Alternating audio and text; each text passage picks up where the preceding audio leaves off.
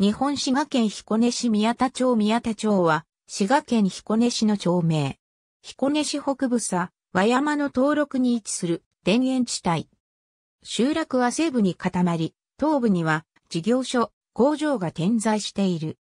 かつては村の北方に磯内湖と呼ばれる琵琶湖の入り江があったが、1947年までにすべて干拓された。1875年に小野馬場村、小野西山村、物生山村の三村が合併して、宮田村が成立。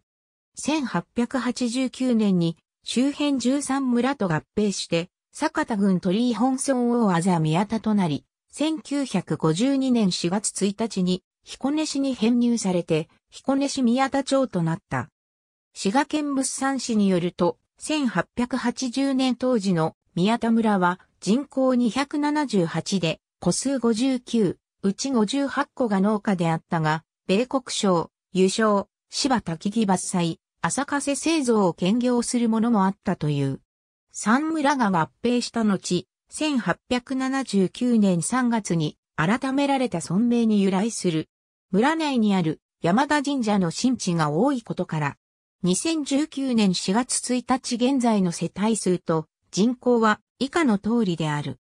国勢調査による人口の推移、国勢調査による世帯数の推移、私立小中学校に通う場合、学区は以下の通りとなる。地内に鉄道は走っていない。最寄り駅は、大見鉄道本線富士テック前駅。ありがとうございます。